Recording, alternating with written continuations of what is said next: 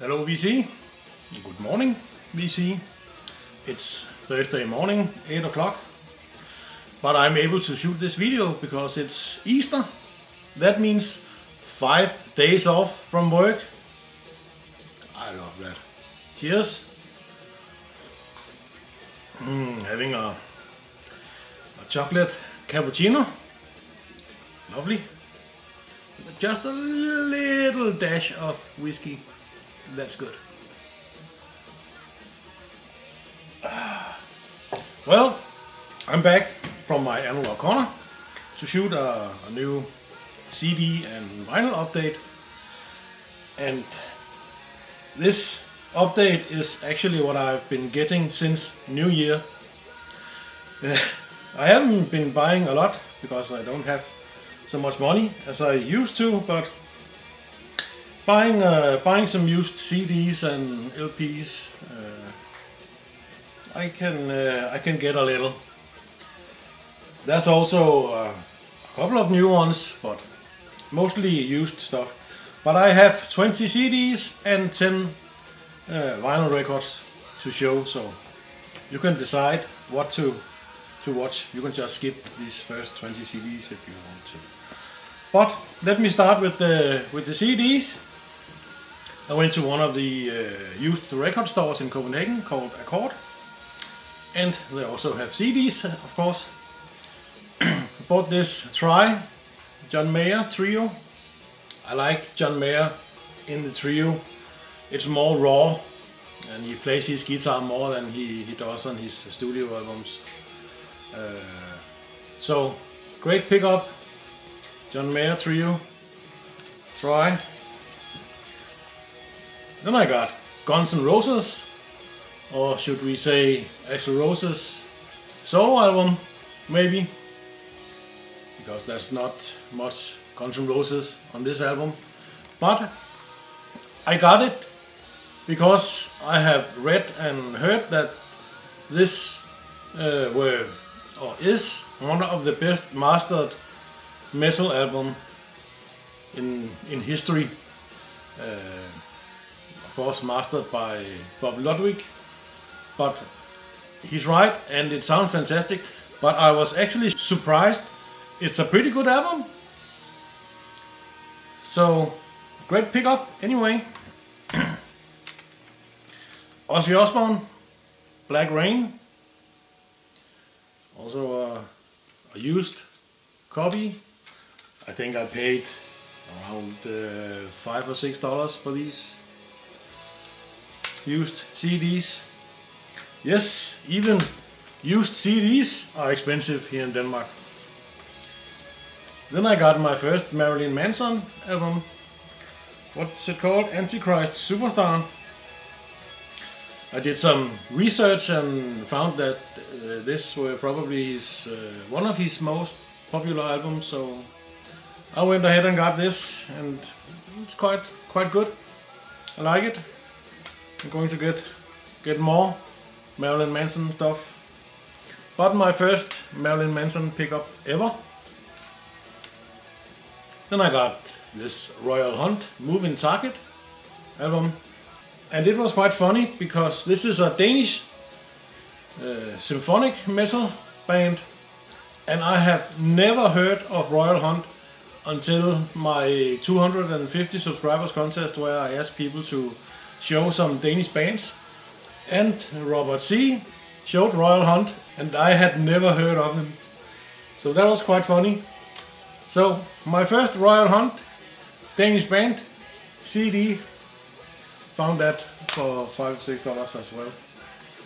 As well with the Suede Dogman Star.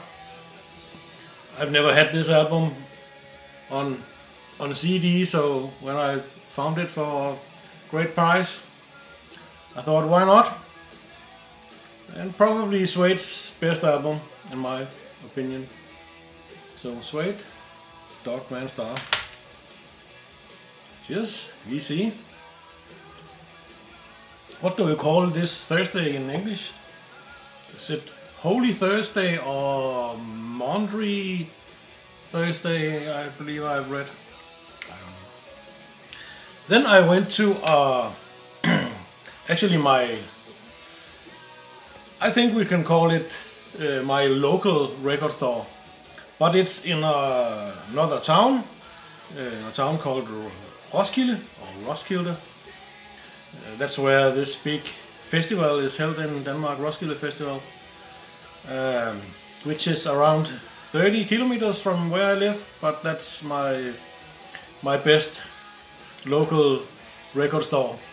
They have moved from a small place to a bigger place, so they had this grand opening, and I went there, and there were 20% off on all items, even the used CDs, which normally costs uh, yeah six dollars, so I got them for four and a half or something like that. I got Alison Krauss and Union Station. What's this called? Lonely runs both ways. I wanted to pick up a Alison Krauss CD because they always sounds fantastic.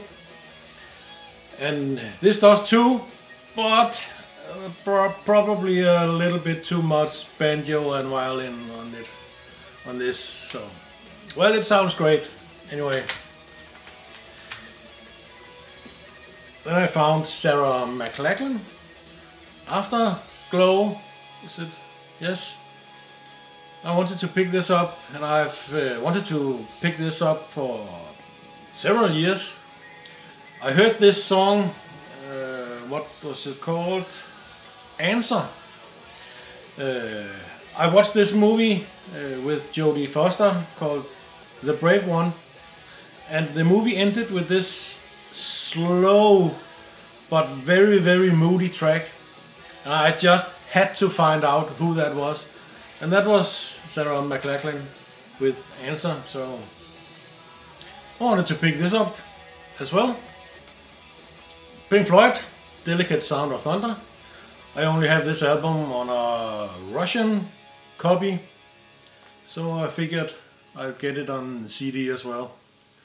Again for four four dollars or something like that. Then another time I went to Copenhagen to dig a little, and I went into there's several record stores in uh, in Copenhagen. They are all in Copenhagen, and there's a lot. That's crazy.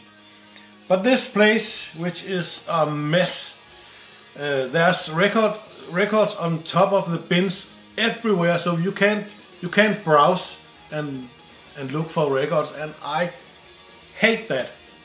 But I thought I would, I would check in, and I went and looked around, and there were stacks and stacks of CDs, and I saw this lying on top of one of the stacks, which is Pink Floyd, uh, Moments in Melbourne.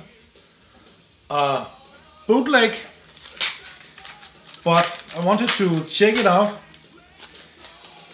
But uh, I have kind of regretted it since because it simply sounds terrible. Oh my god. So I'm not going to buy one of these uh, bootlegs anymore. Apart from another one I will show you in a minute. And that's a whole other story. But the sound fades out and in and it's, it's simply terrible. I'm prob probably going to sell that. I'm, I don't think I will listen to it again. But I found this other bootleg as well. Prince, the early 90s live from 1990 to 93 which is uh, two two concerts. The first is from Tokyo Dome in Japan in 1990, and the other one is from Estadio Macarana or something like that in Rio de Janeiro. And then uh, the fifth disc is from TV appearances. So that's five CDs in this little box set and since I'm a huge Prince fan, I thought I would give it a go and uh, booklet as well. And the sound is much, much better on this one. So I'm happy about that one, but the Pink Floyd is crap. Hope let's have another sip here. We're listening to Screamer in the background there. The great VCLT I got the other day. And then I found a remastered copy of Lou Reed Transformer. I had the vinyl, but again, this was very cheap, so I thought I would check it out. But I was a little concerned because it's re remastered and some of these remastered are just turned up loud as hell. But uh, I went to check on the dynamic range page and uh, it's good to go. So I picked it up and it it does sound fantastic. The song Walk on the Wild Side with that uh, upright bass sounds fantastic. Love that. Then I got Deep Purple, Stormbringer, also for about four dollars. A little cheap, so I wanted to get that one. Have to have some more Deep Purple and Rainbow for that matter. And then a, a couple of uh, new CDs as well. This is Dr. C presents Supersonic Blues Machine, and uh, the CD or album is called is called West of Flushing, South of Frisco. Blues music, southern rock blues music. Great stuff. I like the blues, I like guitars. And speaking of guitars, uh, I found out about this Danish band called Electric Guitars. I've mentioned them a couple of times in my videos. So I got their their new album, Rock and Roll Radio, which is absolutely. It's just like the. It's. how can I explain this? It's a little lame call, calling a band electric guitars, but it's exactly what it is. Rock and roll and solos and beautiful, beautiful stuff. So yeah, I got their latest, their latest album. Uh, maybe I should say that one of the guys, the guys with uh, the guy with the the shades there is called Søren Andersen, and he uh, also plays with Glenn Hughes in his live band, and he also produced Glenn Hughes' newest album. Newest album. So check that out. But yeah, great stuff. And I also bought another one. They've made three albums, so I'm going to get the, the third also. And this is called String Fever. Great, great stuff. Check it out if you can find it. Probably not that available. Then I got Eric Clapton. This is a new one. Eric Clapton live in San Diego with special guest JJ Cale. We know that Eric Clapton is were or were a, a good friend of JJ Cale when JJ were alive. But this is a fantastic live album, and the lineup on this album are simply fantastic. It has um, Derek Derek Trucks and also David Brabham Jr. or something like that he's called on guitar. So great, great live concert by Eric Clapton. This has to be my favorite Eric Clapton album. I know it's not a studio album, but this is the best Eric Clapton to me right now. Awesome stuff. You can easily pick that up if you want to. Then I picked up this, the Apocalypse Blues Revue. And this is just heavy blues rock. Uh, this features two members of the band Godsmack, the drummer and uh, the guitar player, and then uh, yeah, some other guys that I don't really know. But this is probably or have probably been my favorite album album for the last month or so. I just love the sound of the of the heavy guitars and heavy blues on this album. So check that out. The Apocalypse Blues Revue. simply fantastic stuff. So, so that was the CDs. Let's move on to the to the to the records, but let me just turn over the record first there.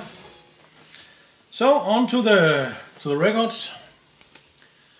I got this Dorje album, Centered and One. It's an EP with five songs.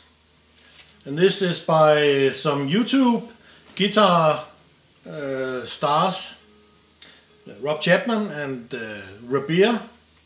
If you know those guys, they do some uh, some guitar demos on the Andertons channel. But this is a fantastic EP.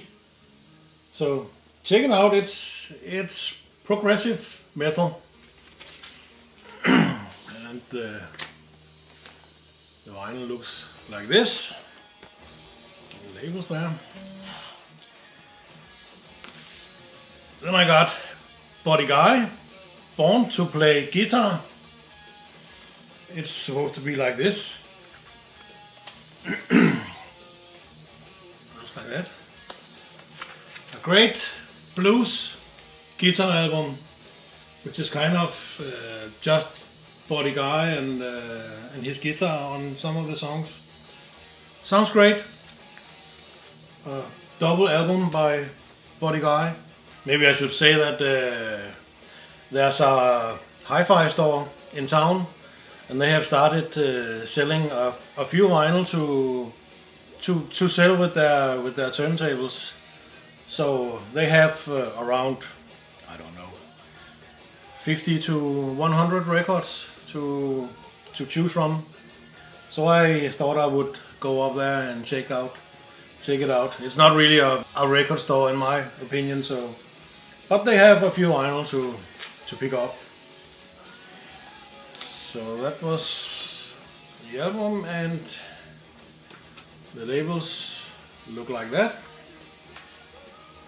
I also got Eric Clapton and Friends, The Breeze and Appreciation of J.J. Cale. I also got this album at that uh, hi-fi store, which is Eric Clapton and Friends playing J.J. Cale songs. A lot of pictures there. And the Friends are Mark Knopfler, John Mayer, Willie Nelson, Tom Petty and John, uh, oh sorry, Don White. So great musicianship on this album and that's probably all there is to it. The songs are, I won't say boring, but not a lot happening. It's just smooth all the way through, but it sounds fantastic.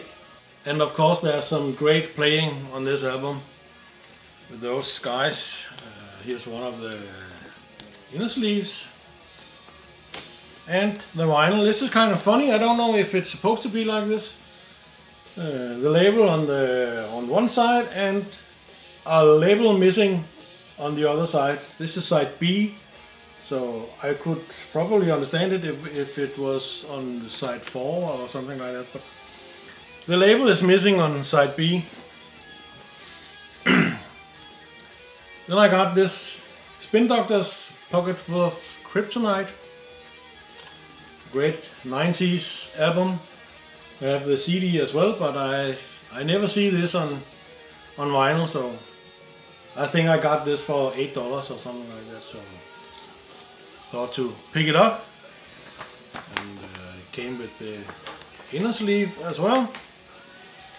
And the the label on the boring epic label there. But it was it was nice to find this. This was actually uh, bought at a at a local record fair. We have a record fair two times a year. And uh, of course I wanted to go and support it it costs five dollars to get in and then you can browse through all the the booths there. I also got Foghat. This is their debut album. I believe it is. Great stuff. Again, I paid seven or eight dollars for this. And here's the, the label on the Bearsville label. Then I found a sealed copy of The Time Pandemonium. Again for $8 I believe. So this is sealed. Should I open it? I have the CD. I will open it eventually. No use for a sealed album. And then there were a booth where it was uh, three albums for what is that? Also eight dollars. And uh, one of the albums I got there were Ratt, Dancing Undercover.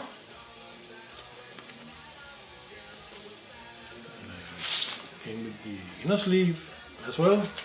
I haven't cleaned this up yet, so it's dirty as hell. It's oh my god, Atlantic label. That was one of the very cheap ones there. Another cheap one, Kingdom Come. Also for around two or three dollars on the Polydor label. Haven't cleaned this as well and listened to it. Well, then I found a rainbow album down to earth. And I'll pick up every rainbow album I can. And this is also on the Polydor label. Again this haven't been cleaned at all. But this is not as bad as the red album. That was very very dirty. Oh my god let's have a little sip here. Cheers again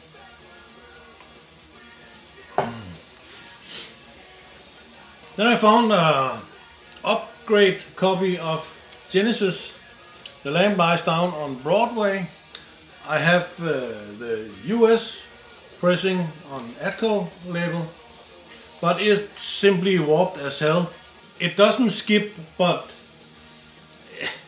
it looks terrible going like that all the time. So I wanted to get another one. So I found this German copy on on the Virgin label. So I haven't given this a spin either. Then I found a, a new, not a new release, but a new reissue of Molly Hatchet. This is my first Molly Hatchet album, Flirting with Disaster. A limited edition on colored vinyl. I also got this at uh, this record fair in town and uh, it was marked a little down. I believe I paid uh, twelve dollars or something like that for it. No, not twelve. Fifteen dollars. And should we take a look at the color on this one? Looks like this. Pretty cool. Matches the album.